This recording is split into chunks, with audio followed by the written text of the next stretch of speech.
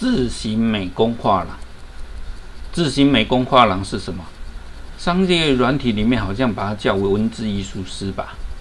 那我们在 LibreOffice 里面，我们可以选择插入叫做 PhoneWork 这一个字形美工画廊，它们功能很类似。它的做法，第一个，请你选择你要的样式，比方说，我希望要的是一个好波浪式的文字，好，确定。好，这时候它会出来这样。那你需要点两下去改变里面的文字，比方说，我输入 O O D F 教育训。列输入完，你在外面点一下，它就出来。那你一样可以改变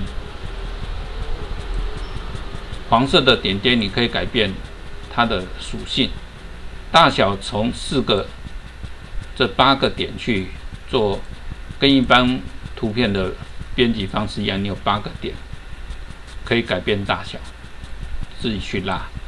然后你可以改变黄色的点点，你可以改变样式不一样，可以做一些调整。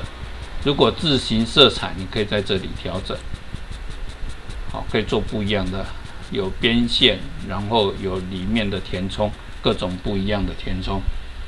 然后你需要改变的时候，记得文字要改变，double click 两下。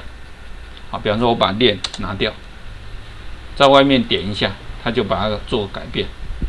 如果你需要改变字形，一样的 double click 之后，把字选起来。我不希望，我希望改成标楷体。好，它就变标楷体了。那这个字形的部分就需要自己去调整。我们再复习一次，插入什么 p h o n e w o r k 这个叫做。字形美工画了，选择你要的样式，我需要这样半圆形的样子，选择确定。